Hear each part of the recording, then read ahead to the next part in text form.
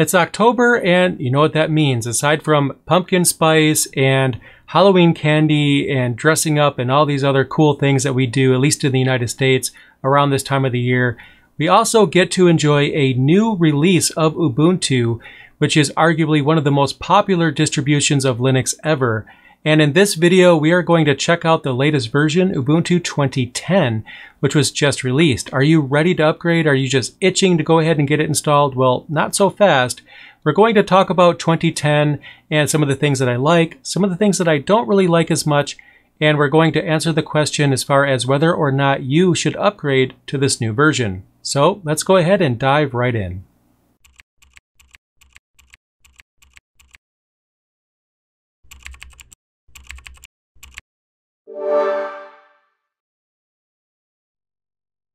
So here I am with a fresh installation of Ubuntu 2010 that's ready to go. Off camera, I've spent some time with it and I am ready to give you guys my thoughts. Now first of all, when it comes to the visual appearance, I think that's something that Ubuntu has done very well with for quite a few releases now. Now while it's all up to personal opinion as far as whether this particular color scheme is appealing to you personally, I do feel that the themes here are very well put together and show that there's quite a bit of attention to detail. So for example, if I open up the file manager, you can see the theming in all its glory. We can see the icon theme for things like folders, and we have the color scheme as more of an orange for the highlight here, although to be honest, I am a bit colorblind, but we'll forget about that. When I open up the applications list, you can see the icons for various applications, and of course, I've installed a few myself, such as Final Fantasy VI. That doesn't come default with Ubuntu.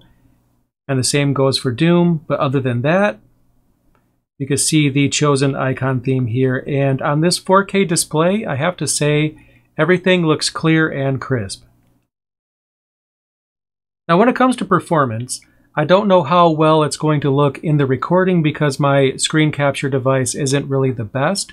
But when I'm sitting here looking at my laptop screen, everything just looks smooth, it's fast, and applications open up very quickly. So I have no complaints when it comes to the performance. In every release of Ubuntu, we get a brand new GNOME experience, a brand new GNOME version, and this time we have GNOME 3.38, which also comes with some speed improvements. And it seems like every version of GNOME nowadays actually increases the speed and performance a little bit more each time. Although on my end, I'm running on a ThinkPad X1 Extreme, so this is not a slouch of a computer at all. So I think that I'm less likely to notice a difference than others that might be on a slower machine. But for me, Ubuntu always runs fast with every release, so um, I don't really think there's any room for improvement on my end, but I'm sure those of you out there that might have a slower machine, you may experience an increase in speed, and that's definitely a good thing. Now overall, there's really not much to say about this particular release. Like I mentioned, with every version of Ubuntu, we get a brand new GNOME version, and then we automatically benefit from all of the features that each GNOME version gives us.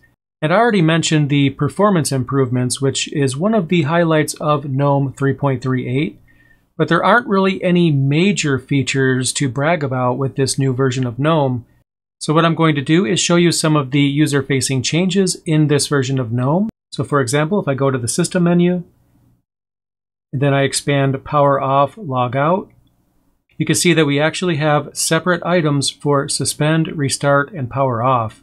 Previously, you would just click on the Power Off button and then choose Restart, but now Restart is its own option. Now that's not an earth-shattering change, it is welcome. I don't think that there's anything wrong with having faster access to the restart option here, so I think that's a good thing. Now another thing that I've noticed as well is if I go here to settings and I'm here in power, if I scroll down, we have an option to show the battery percentage as well. So if I toggle that on, we can see the battery percentage right here. Now that's not actually a new feature in GNOME 3.38. I've been able to do that for several versions of GNOME now, but the option to enable the percentage was not in the normal settings. You had to enable it via dconf or possibly GNOME tweak. But now this option is actually present in the main settings menu, so it's more visible and easier to access for those of you that want to see the percentage in the bar on the top of the screen. Now there's also some new features here when we go to the application grid. And we can actually rearrange the icon. So what I'll do is I'll just grab this icon here.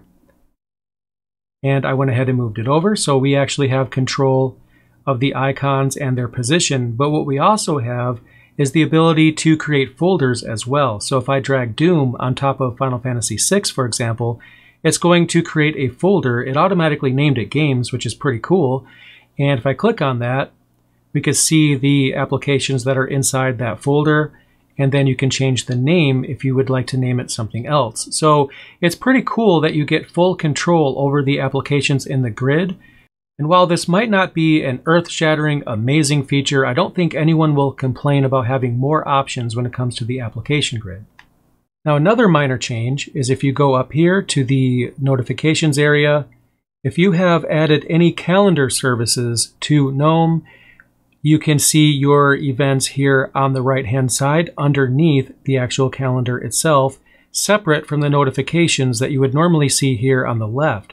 Previously, you would see notifications for calendar events and system notifications all in this side on the left right here. However, in this new release, alerts for calendar events are going to show here underneath the calendar, which I think makes a lot more sense. Now again, that's not an amazing feature, but there's a lot of these smaller changes in GNOME 3.38 that are all welcome, but I don't think any one of these features alone are a good reason to upgrade to this version of Ubuntu just to get this latest version of GNOME. Now, to set some context for the remainder of this review, the question that I need to answer as a reviewer is whether or not I could recommend my viewers upgrade to this release. Now, so far, with a minimal set of features, it's really hard for me to do that, but let's see what else we can find in this release. So here on my screen, I've pulled up some release notes for Ubuntu 2010, and let's take a quick look. Now, first of all, it's important to keep in mind that Ubuntu 2010 is supported for just nine months, where Ubuntu 2004 is supported for up to five years.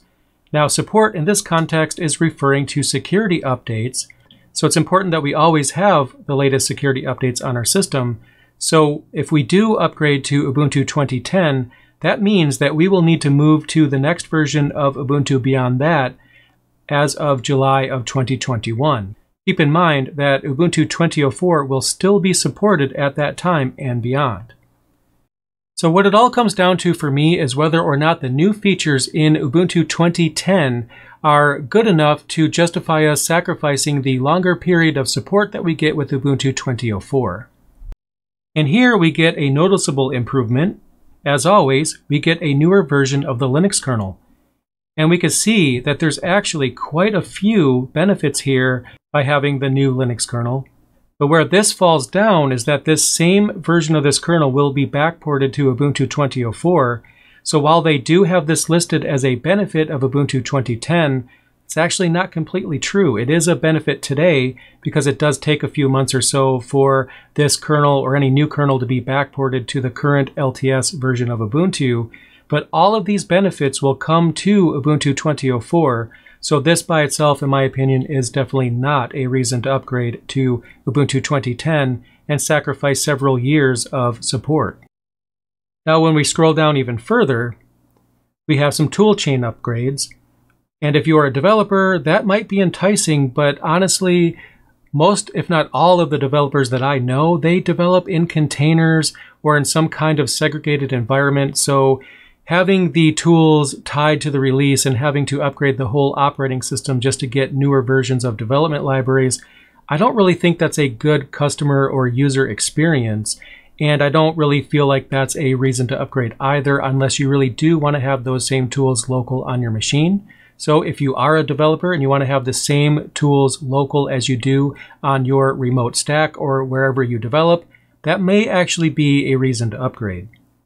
Now they do mention that NF tables is now the default when it comes to the firewall, so keep that in mind if you go to customize the firewall on your machine.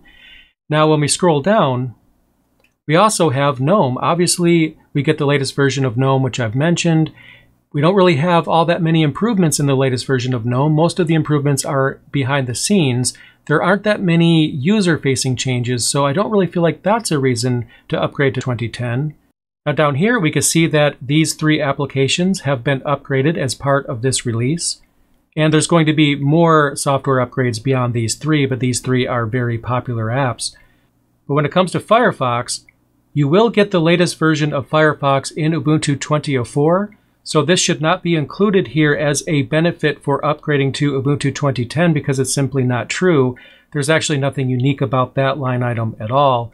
And when it comes to LibreOffice, it is true that is definitely a benefit. You get LibreOffice version 7.0.2 that will not be backported to Ubuntu 2004 as far as I understand. However, with Flatpaks and app images, you can actually get newer versions of applications on 2004. So that defeats this line item right here. Having the latest version of LibreOffice on this version of Ubuntu is not going to be a benefit. You could still do that on 2004. And the same holds true with Thunderbird as well. So, so far, I'm not really seeing a good reason to upgrade to 2010. Now, don't get me wrong, I'm not saying that Ubuntu 2010 is a bad release. It's just that if I'm going to recommend that my viewers upgrade to a newer version of Ubuntu, then I feel that there has to be a good reason to upgrade off of an LTS release and sacrifice support. And so far, I just don't see that here. Now, to be fair, Ubuntu 2010 is fast, it performs very well, and I did have one major problem that I'm going to get to in a moment, but so far, I'm not really seeing a reason to entice you guys to upgrade to this release. It is kind of a boring release of Ubuntu so far, as much as I really hate to say that. Now, to be fair, I know that all of the Ubuntu developers out there are working really hard, and I don't want to, um, you know, cast a bad light on them because they are actually doing a great job. But most of the changes that they're making at this point are in the background. You're not going to notice anything user-facing just yet. Now, as I do with most of my reviews, I decided to install Steam, and then install some games because I want to be able to let you guys know how the gaming experience is. I know that not all of you care about gaming, but some of you care a lot. And for those of you that do care about gaming on Ubuntu, the experience for me in 2010 has not been great. Now, first of all, I decided to try Final Fantasy VI, and that is my favorite game, and I pretty much use every opportunity I can to show it off. But the real reason why I always default to that game is because it's very easy to run. It can run on integrated graphics, so it's the first test case I do to see if Steam itself is working. And so far so good, Ubuntu 2010 is able to handle Final Fantasy VI, which means Steam does work by default. Now unfortunately, where this breaks down is any game that I've decided to try that uses more than integrated graphics has been a complete failure. I wasn't able to run Doom, which does run on this laptop with proprietary graphics, no problem in previous releases, but it just stutters and lags on this release to the point where it's unplayable. Now, I did try to make sure that the application launches via the discrete video card. If you right click the application, you actually get an option for that. I did try that. And I also tried closing out of Steam completely and then launching Steam on the dedicated video card, which does help in some cases, and Doom was a complete failure. Now, to be fair, Doom actually runs on Proton. It is not a native game. So then I decided to try a game that is native, and that's Portal 2, that actually runs without the need of Proton, but that doesn't run well either. Both Doom and Portal 2 were virtually unplayable with the lag. It's just a horrible experience for gaming, which is very surprising because on this laptop, I review all of the distributions lately on this machine, and I've never had a problem, but something about 2010 is making this fail. Now, to be fair, I'm sure when I get more time, I'm going to do a Google search. I'm going to find the answer as far as why this doesn't work. But I can't really sell my audience into something like Ubuntu 2010 if the out of the box experience with gaming is as pathetic and poor as it is, and that just creates a very bad user experience and makes it even harder for me to recommend this release. Now, I know that not all of you guys play games, and some of you may not care about this, but so far we don't really have any features in this release that justify an upgrade away from a longer supported release and then games don't work either. So far, Ubuntu 2010 is a very hard sell for me. Now, I want to be careful to not overly focus on the negative because the developers of Ubuntu and the contributors in the community, they are all doing great work, and I appreciate everything that everyone is doing. They're passionate about it, they believe in this project, and they want to keep it going. They want to make it a great experience for everyone. And there are some good things to say about this release. Like I've mentioned the performance and how fast things open and you know everything is fluid and fast for me. We have additional features in the application grid. We have user interface tweaking that makes everything better for the end user. So there's definitely some good things to talk about here, but unfortunately nothing great. Now I definitely understand the desire to run the latest version of your favorite distribution because in some ways it feels like Christmas morning when you unwrap gifts and you just have some new stuff to play with. That's awesome. But as a reviewer, it's my job to let you guys know whether or not I recommend that you upgrade to this release. And unfortunately, I have to say, well, no. The debate around LTS or not LTS has been going on for a very, very long time.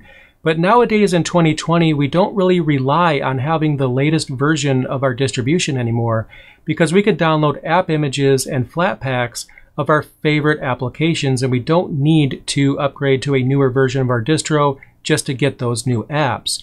So most of the reasons why we would want to upgrade to a non-LTS release are pretty much out the window, especially considering that as good as GNOME happens to be in version 3.38, there's really not a whole lot new and Ubuntu itself has, you know, some new features like the new Linux kernel, for example, but that's going to be backported to 2004 anyway, so I really don't see any reason to recommend this to anyone. Now, if you want to go ahead and contribute to Ubuntu and give back, volunteer in the community to report bugs, offer improvements, you should definitely upgrade to this release because if you're running the latest and greatest, you could follow along with the road to the next LTS release and actually get involved in the project as well. If that's you, definitely upgrade. But for everybody else, I definitely recommend you avoid Ubuntu 2010 for now and stay on 2004. There's just really no benefit in upgrading to this release at all whatsoever.